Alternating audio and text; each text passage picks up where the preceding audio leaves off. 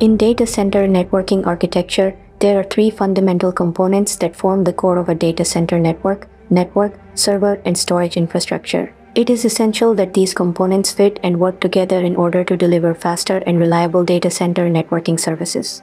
In order to ensure high performance of data center networks and assure service delivery in accordance to the service level agreements, SLA, an integral part of data center operations are data center networking solutions, that is, a comprehensive data center infrastructure monitoring solution, DCIM. These data center networking solutions help a NOC technician or network data center technician to track, monitor, diagnose, and troubleshoot network devices, physical and virtual servers, and storage devices.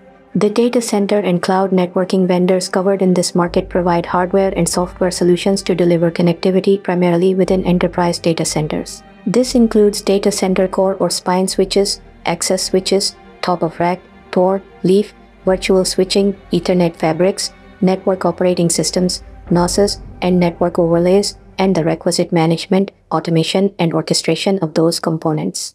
There are several key products available in market depends on the needs.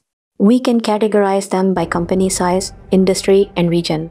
For large enterprises, Cisco Nexus switches by Cisco is there. Nexus is a clear winner for core or DC switching solution. However, Juniper switches by Juniper is at number 2 with great experience, highly reliable and most secure network solution. While Extreme switching by Extreme Networks is at number 3, Extreme Networks always stands behind their product with excellent tech support and best practice recommendations. There are several other big players as well like VMware NSX Data Center by VMware. NSX Data Center is highly scalable, optimized and resilient network virtualization product. Then HPE, Aruba, Aruba switches by HPE. These switches deserve a spot in your data center. Huawei Cloud Engine switches by Huawei easy way to deploy their switches and the multiple options to management it make it more popular. And Dell EMC switches by Dell Technologies are great switches and just reliable like most Dell devices are. No matter what product you choose, the important is to monitor the performance constantly and automatically for real-time availability, bandwidth monitoring, and network configuration management and monitor computing resources for efficient data center networking.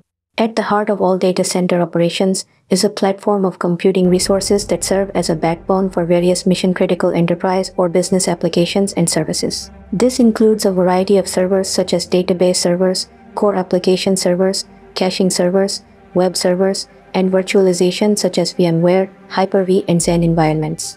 Another critical factor when setting up data center is to consider and make conscious efforts to make greener data centers. Recent studies report that data centers worldwide collectively use enough electricity to power a small American city. That's nearly 1% of all power consumption globally. At the same time, atmospheric CO2 levels are reaching record highs every year, and the effects of climate change are more profound. The pressure is on for businesses to curb carbon emissions from their data centers and make them more sustainable to both benefit the environment and show that the business is taking responsibility. What are the possible ways to rethink your data center to become more eco friendly? Creating a more sustainable data center requires six key steps. First, you need to know how much power your data center going to use. Start by planning and tracking overall electrical usage, temperature, and server usage. For instance, Knowing server use over time can help identify which functions could be consolidated onto fewer machines. AI powered tools can be used to monitor power usage and generate a power efficiency forecast. Use hot and cold aisle configurations to rearrange the data center based on energy consumption and temperature.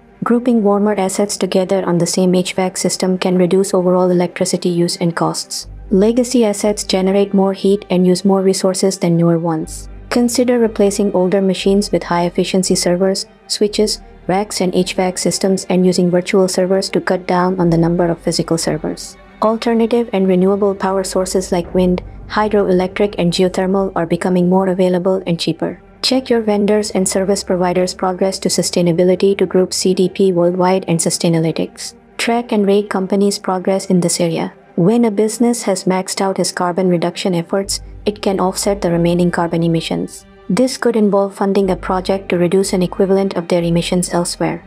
Sustainable networking, sometimes called green networking, is a broad term for applying sustainability practices to network operations and management. Cisco, a longtime player in the sustainability space, has pledged to reduce greenhouse gas emissions to net zero by 2040. Cisco uses a mix of different approaches to meet its sustainability goals. Cisco develops network devices with sustainable practices in mind, and some technologies used to enable this performance include intent-based networking and automation tools. Juniper Networks also entered the sustainability space with its Cloud Metro service, a new platform for MSPs to improve sustainability in network management. Organizations that have prioritized digital transformation, DX, are looking for new ways to innovate, modernize, and upgrade their networking infrastructure. DX is often a double-edged sword because it can create both benefits and challenges for sustainability initiatives. Smart buildings, workspaces, and data centers can support hybrid work, which is the future of work. Cisco-enabled smart locations use the company's sustainable networking infrastructure services. Converging siloed networks that power, connect, and secure buildings and simplifying the design and operations allows the creation of a more energy efficient or carbon reducing design that is more flexible and agile. Thank you for watching and we'll see you next time.